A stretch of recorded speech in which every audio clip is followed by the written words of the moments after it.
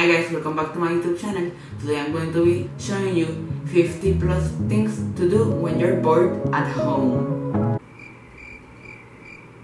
Before we start this video, don't forget to subscribe and turn on my post notifications so you won't miss any of my uploads. So first thing you can do is an at-home workout. One fitness influencer that right now is very popular is Chloe Ting. You can go for a run in your neighborhood, take pictures for Instagram,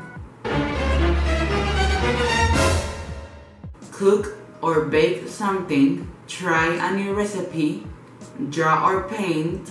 You could find inspiration on Pinterest, clean your room, rearrange your room, do your homework, study, read a book, you can learn new TikTok dances, dye your hair with box dye or with markers, cut your hair, watch movies, write reviews, clean your camera roll, use a face mask, organize your phone, organize your computer, drink water, make a fort,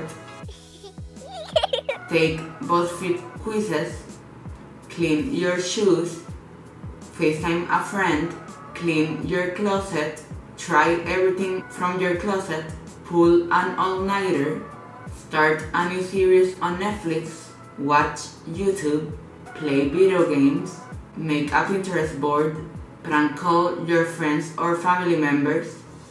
Knock knock. Bye.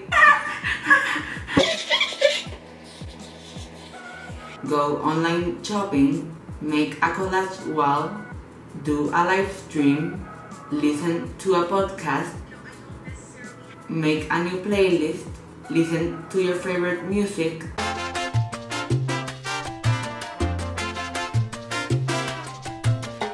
make friendship bracelets, start your own YouTube channel, take a nap, meditate, try doing yoga, improve your flexibility, learn another language. Bonjour, abonnez-vous. Bonjour, abonnez-vous. Have a Netflix party. Clean your mail. Play board games with your family or by yourself. Convince your family to get a pet. Personally, I want a dog. Do pranks. Make a to-do list. and text your crush.